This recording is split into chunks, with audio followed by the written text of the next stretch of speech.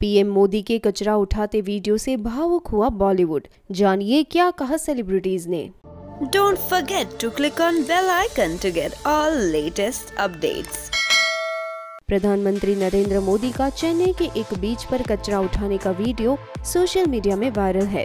इस वीडियो को तमाम तरह की प्रतिक्रियाएँ मिल रही है।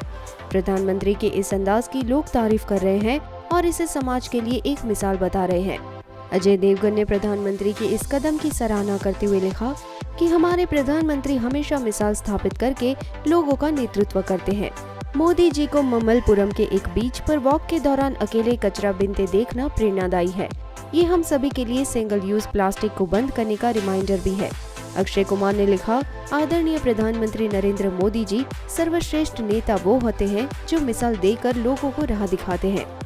स्वस्थ रहने के लिए भी ये एक बेहतरीन काम है। साथ ही लोगों को हमारे सार्वजनिक स्थलों को साफ़ रखने का संदेश भी। अनुपम खेर ने लिखा कि प्रधानमंत्री नरेंद्र मोदी जी की ये तस्वीर आने वाले समय में पूरी दुनिया में और निस्वार्थ भावना का एक प्रतीक बनेगी। इस तस्वीर में स्वच्छ भारत का अभियान तो है ही, साथ ही एक फकीर की छवि भी छुपी है। ऐसे इंसान को किस चीज़ का डर हो सकता है? अनिल कपूर ने भी लिखा, अपने आसपास की सफ़ाई रखना सिर्फ़ हमारे घरों तक सीमित नहीं है। ये हमारे घरों के अलावा पूरे देश को स्वच्छ रखने और सुरक्षित रखने के बारे में है।